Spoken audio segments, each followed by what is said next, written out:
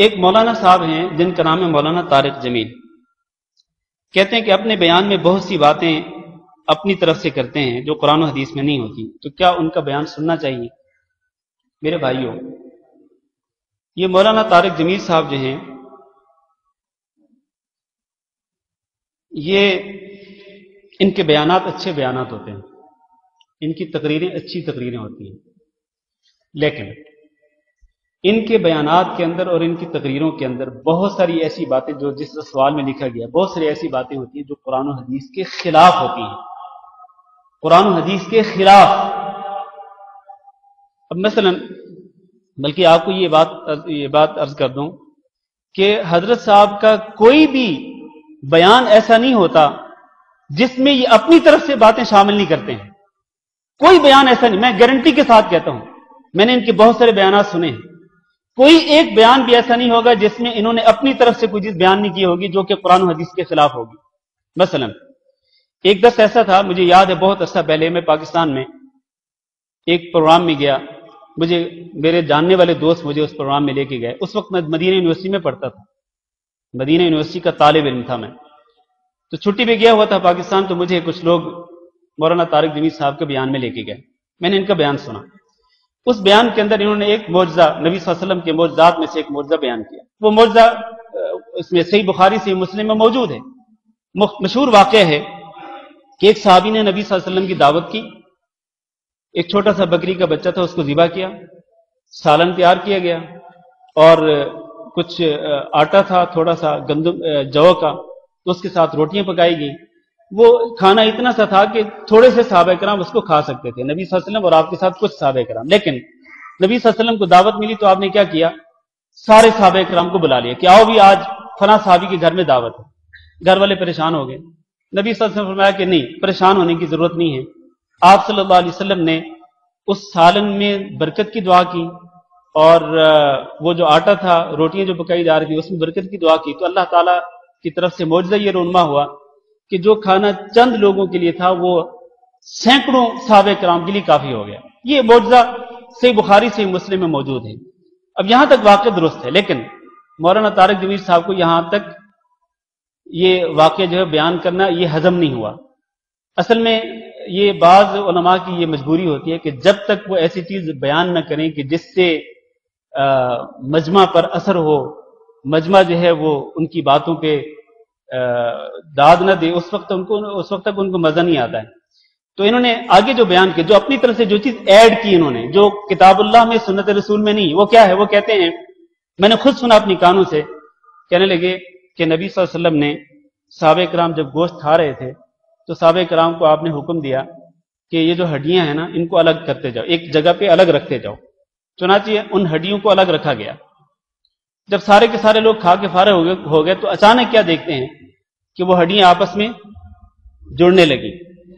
फिर उन हड्डियों पे गोश्त चढ़ने लगा। फिर देखते ही देखते बकरे के, जिस बकरे को जिबा किया गया था, उस बकरे के आजाब बनने लगे। उसके पाँव, उसके हाथ, उसकी गर्दन, उसके और पलक झपकते ही क्या हुआ कि वो बकरा जिसको जिबा किया था, वो बिल्कुल ज़िंदा होकर वो साहब इकराम के सामने आ गया। अब ये वो चीज़ है कि जिसका किसी हदीस की किताब के अंदर ज़िक्र नहीं है।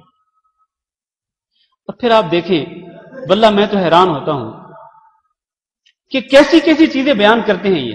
मैं बस वो बात करके अपना आदर्श खत्म करता हूँ आज का।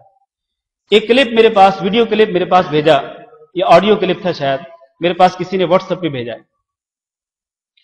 उसमें हज़रत साहब बयान करते हैं कि मैं उम्र करने के लिए गया। मेरे दिल में तड़प पैदा हुई कि मैं हज़रत आमना जो कि नबी वसल्लम की वालदा थी उनकी कबर को देखूँ। चुनाचे आप में से शायद किसी ने देखा होगा वो क्लिप सुना होगा। चुनाचे मैं उसको तलाश करते करते करते करते आखिरकार पहुँच गया एक जगह पे। तो वहाँ से मुझे पता चला कि कबर तक पहुँचने का जो रास्ता है वो बड़ा ही दुशवार गुजार रास्ता है पहाड़ी रास्ता है और, और वहाँ तक कोई जाता भी नहीं तो हम एक पेट्रोल पंप पे खड़े हुए थे तो एक बद्दू आया वहाँ पर, जिसके पास ये वन एट थी। तो मेरे साथ जो शख्स था, ये मौलाना बयान कर रहे उसको मैंने कहा कि जाओ इस बद्दू से पूछ के आओ कि कब्र कहाँ है, हज़रत आमना की, नबी वसल्लम की वालदा की। तो उसने जाके उस बद्दू से पूछा तो उस बद्दू ने कहा कि क्यों, क्या मसला है? उसने कहा कि असल बात यह है कि मौलाना तारिक जमील ये गाड़ी में मौजूद हैं तो वो देखना चाहते हैं कब्र को। तो वो वो उतर के आया। कहने लगा, आप मौलाना तारिक जमील हैं? तो कहते हैं, मैंने कहा हाँ बिल्कुल, मैं मौलाना था। तो उसने मुझे गले लगा लिया। तो अब देखें, ये किस तरह कहानी बन रही स्टोरी किस तरह से तश्कील पा रही है। कहते मैंने उस बद्दू को कहा कि आप मुझे हज़रत आमना की कब्र पे लेके जाए। उसने कहा कि मैं वैसे तो नहीं जाता और ना कोई रास्ता, लेकिन चूँकि आप तारिक जमील साहब हैं, आपने मुझसे मुतालबे के तो आपको ज़रूर लेके जाऊँगा। तो वो जनाब लेके जाने लगा। पहाड़ी रास्ते थे इधर उधर बड़े मुश्किल रास्ते थे। आखिरकार हम कब्र पे पहुँच गए। ओके। कब्र पे जाना। ये तो एक अलग मौजू है। लेकिन जो असल बात है वो ये है कि मौलाना साहब बयान करते हैं कि जब मैं कब्र पे पहुँचा तो मेरे ऊपर जो कैफियत तारी हुई,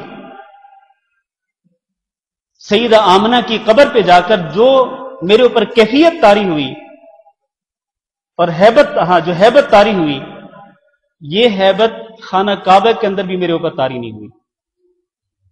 वल्ला ये उनके अल्फाज हैं। खाना काबा में भी मेरे ऊपर वो हैबत तारी नहीं हुई, जो हैबत आमन सईद आमना की कब्र पे मेरे ऊपर तारी हुई। अब आप ये कहकर लोगों को किस बात की तरफ़ दावत दे रहे हैं? किस बात की तरफ़ लोगों को बुला रहे हैं आप?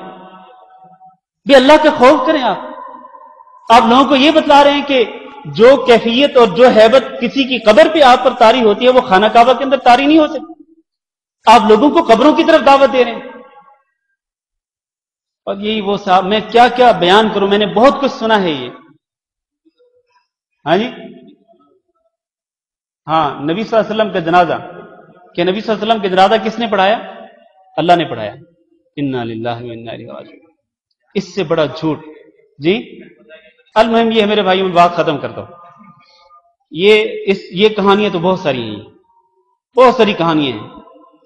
लेकिन भाई ने जो सवाल किया है क्या इनका बयान सुनना चाहिए? देखें। आम लोग जिनके पास बयान, जिनके पास इल्म नहीं होता, जब वो इस तरह की कैस्टें, इस तरह की वीडियोस या इस तरह की ऑडियोज जब सुनेंगे, सीडी सुनेंगे तो वो तो यही समझेंगे ना कि मौलाना तारिक जमीर साहब ने बयान किया तो यकीनन सही कहा है।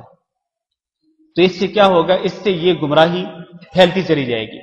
तो इसलिए वो वो आलिम या वो शख्स जिसके बारे में आपको पता है कि वो सही चीज़ें भी बयान करता है, गलत चीज़ें भी बयान करता है। आप उसके बयान ना सुने। आप उससे गुरेज करें। हाँ अगर अल्लाह ताला ने आपको इल्म दिया है, कि आप उस इल्म की रोशनी में फ़र्क कर सकते हैं कि हाँ ये बात दुरुस्त है, ये बात गलत है तो ठीक है, कोई हर्ज नहीं, सुन सकते हैं आप। वैसे तो देखें, हक बात जो है, अगर शैतान से भी मिले तो कबूल कर लेनी चाहिए। आयतुल कुर्सी के बारे में किसने बताया था कि आयतुल कुर्सी रात को पढ़ के सोए? तो शैतान करीब नहीं आ गया किसने बताया था ये? शैतान ने कहा था ये, ठीक है? तो हक बात अगर मौलाना तारिक जमील अगर कुरान और हदीस की रोशनी में हक बात बयान करें वल्ला मेरे सर आँखों पर है। वल्ला मैं उसको कबूल करने के लिए तैयार हूँ। सर आँखों पर है मेरे। लेकिन अगर वो बात कुरान और हदीस के खिलाफ हो तो मेरे नज़दीक मौलाना साहब की इस बात की कोई अहमियत नहीं है। मैं अगर इल्म की रोशनी में फ़र्क कर सकता हूँ तो मैं सुन सकता हूँ, कोई हर्ज नहीं। लेकिन अगर आप में से कोई शख्स इल्म की रोशनी में ये फ़र्क नहीं कर सकता तो फिर उसको नहीं सुनना चाहिए। अस्तफर रहीम।